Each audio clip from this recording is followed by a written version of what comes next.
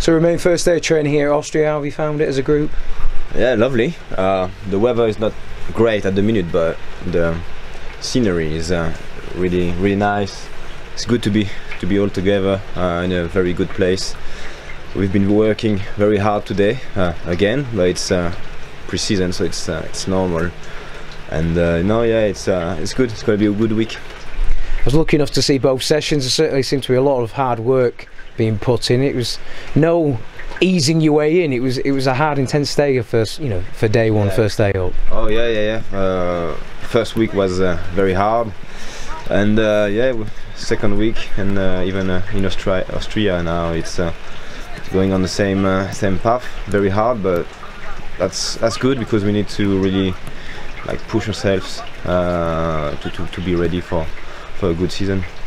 And you mentioned about the surroundings. With all due respect to our training ground and, and Yorkshire and Bradford, obviously it's slightly different. Obviously Yorkshire Dales, we do have some great views ourselves, but you know it's some really picturesque area here in, the, in this you know north of uh, Austria that we're in at the moment. Yeah, it's it's lovely. It's lovely to even just have a change wherever you go. But it's uh, it's a good one.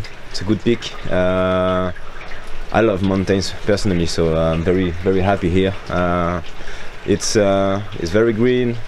It's lovely. Just just a shame for the interview there is no no sunshine, but it's uh, yeah it's it's a great place.